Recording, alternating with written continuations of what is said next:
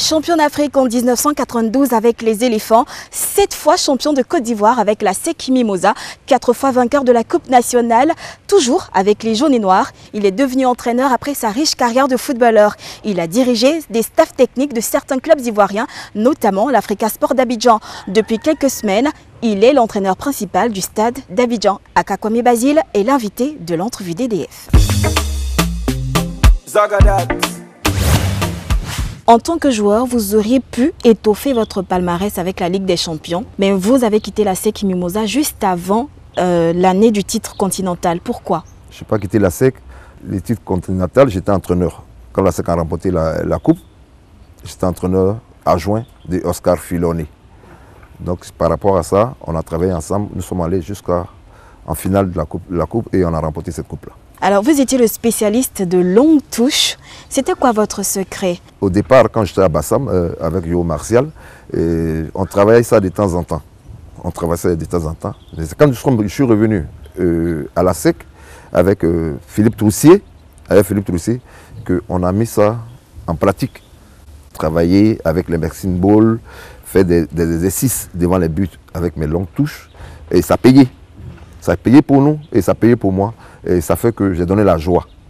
Quand je trollais, quand je prenais le ballon, le ballon sortait, j'ai donné cette joie-là, l'animation aux actionnaires. Et c'était quoi justement votre plus beau souvenir? C'était euh, le match contre l'Algérie euh, en 92 où le ballon est sorti, que j'ai pris ce ballon-là, que j'ai envoyé ça sur la tête de Ben Salah et Aboulay reprend le ballon et on menait 1-0. C'était l'âme, un peu de l'âme aussi de cette équipe de la SEC et cette équipe euh, de l'équipe nationale de Côte d'Ivoire. Être l'entraîneur de l'Africa Sport, le plus grand club rival de votre club de cœur, donc la SEC Mimosa, est-ce que ça a été facile pour vous? C'était pas facile pour moi. Comme le président Vagba m'a fait confiance, avec Tchétché Aimé, qui m'ont fait confiance, avec le comité directeur de l'Africa. Mais mon arrivée à l'Africa, c'était pas facile. Qu'est-ce qui s'est passé? Pourquoi?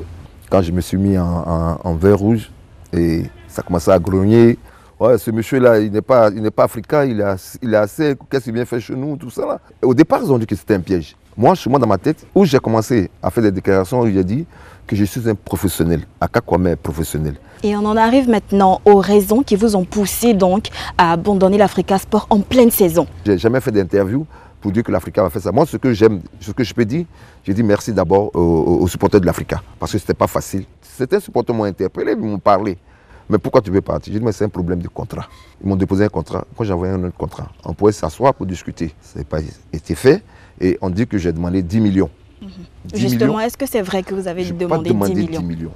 Mais alors, pas. c'était quoi la, la pomme de discorde entre vous et l'Africa Sport? Non, c'était d'abord le contrat. Et ils, ils m'ont donné un contrat, j'ai envoyé ça chez mon avocat, et il a réalisé le contrat, et on a envoyé un autre contrat pour qu'on puisse s'asseoir, discuter du contrat, les deux contrats, les deux parties, discuter ce qu'il faut prendre, ce qu'il ne faut pas prendre, et puis on continue notre chemin. Dans mon contrat, c'était, il faut signer un contrat, et puis les avantages d'un entraîneur. J'avais mon salaire, j'avais une prime de signature, j'avais que le contrat que j'ai donné, parce qu'on on allait dans une nouvelle saison. C'était une prime de signature, euh, de, de- signature, et puis décortiquer comment il fallait avoir les primes des matchs pendant la campagne africaine jusqu'en finale. C'était l'objectif de mon contrat. Alors donc s'ils n'ont pas accepté, c'est que quelque part, ils n'avaient pas confiance en vous. C'est que les résultats ne parlaient pas pour vous. Non S'ils n'ont pas accepté, ils savent pourquoi ils n'ont pas accepté.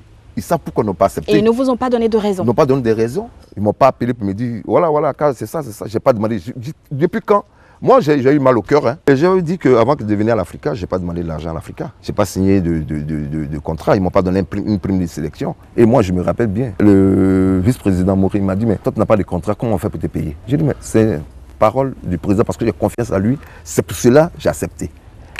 Mais j'ai accepté ça, c'est pas parce qu'il y a longtemps, ce problème de contrat-là existait. Il y a longtemps, c'est pas maintenant que ça existait. C'est pas parce que nous sommes arrivés en, euh, en phase de, de- de la Coupe CAF que j'ai commencé à exiger le contrat. Non. C'était quoi votre salaire à l'Africa Sport Mon d'Abidjan salaire aujourd'hui, mon, mon salaire c'était 500 000 francs plus mon cabinet 100 000. Aujourd'hui, vous êtes au stade d'Abidjan.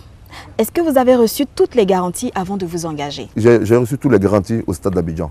Je suis arrivé au stade pour le maintien, avec des garanties. S'il n'y avait pas de garanties, je dis aujourd'hui, je ne vais plus accepter de travailler sans contrat. Et donc vous êtes parti au stade d'Abidjan avec le même contrat que vous avez proposé à l'Africa Sport. Ce n'est pas le même contrat. Je suis arrivé, il y avait 10 matchs à jouer. Donc ce sont les 10 matchs. Et pour la saison prochaine, on va s'asseoir réfléchi à un contrat. Je suis là, on a signé un petit contrat pour les 10 matchs. Est-ce que ça vous tente, les éléphants? Il y a des entraîneurs qui ont la capacité aujourd'hui de prendre cette équipe nationale du Côte d'Ivoire. Je prends un monsieur comme Kamara Ibrahim qui est resté longtemps avec les sélectionneurs qui sont venus. Mais il faut donner la chance aussi. Moi, c'est mon avis, hein, il faut donner la chance aux Ivoiriens et mettre les moyens, de la manière qu'on met les moyens par rapport à ceux qui arrivent en Côte d'Ivoire pour entraîner notre équipe nationale, on peut mettre ces moyens-là au, profit de euh, Kamara. Kamara va travailler, il va faire ses choix, faire une équipe, parce qu'il faut commencer maintenant. Le métier d'entraîneur nourrit-il son homme ici en Côte d'Ivoire? Je dis oui. Il faut avoir un projet. Le projet, c'est quoi? Le président du club, le comité directeur, ce projet-là, à Kakwame arrive là, notre projet, c'est sur deux ans, c'est sur un an. Et c'est que sur un an ou deux ans, on va arriver là, on veut ce titre-là. Moi, je pense qu'il faut travailler par projet. Il faut avoir confiance aux entraîneurs. Parce qu'on nous vit trop vite. Deux matchs perdus, on te vit. Trois matchs perdus, on te vit. Mais le projet, il n'y a plus de projet.